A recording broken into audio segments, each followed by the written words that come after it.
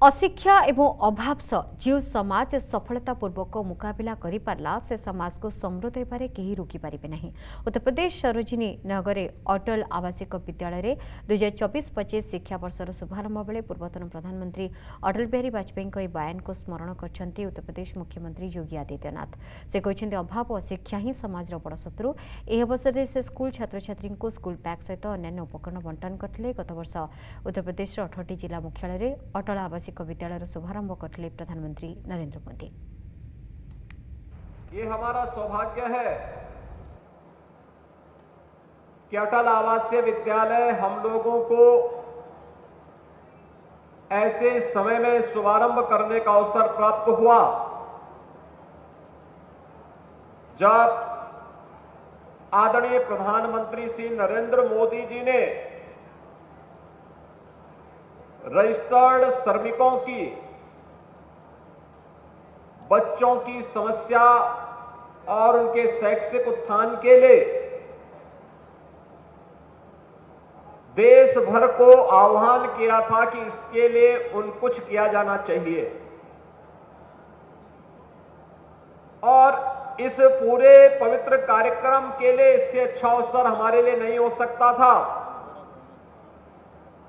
कि स्वर्गीय अटल बिहारी वाजपेयी जी की जन्म शताब्दी वर्ष के शुभ अवसर पर हम लोगों ने गत वर्ष प्रदेश के 18 मंडलीय मुख्यालयों पर 18 अटल आवासीय विद्यालय, आदरणीय प्रधानमंत्री श्री नरेंद्र मोदी जी के कर कमलों से प्रारंभ किए। आपने इन अटल आवासीय विद्यालयों में प्रवेश लेने वाले छात्रों को और आज उनके प्रदर्शन को भी देखा होगा। एक लघु झांकी सांस्कृतिक कार्यक्रम के माध्यम से आपने देखी होगी। सरदेव अटल जी एक ही बात कहते थे कि अशिक्षा और अभाव से जो समाज सफलतापूर्वक उसका मुकाबला कर ले। उसको सुरक्षित और समृद्ध होने से दुनिया की कोई ताकत रोक नहीं सकती।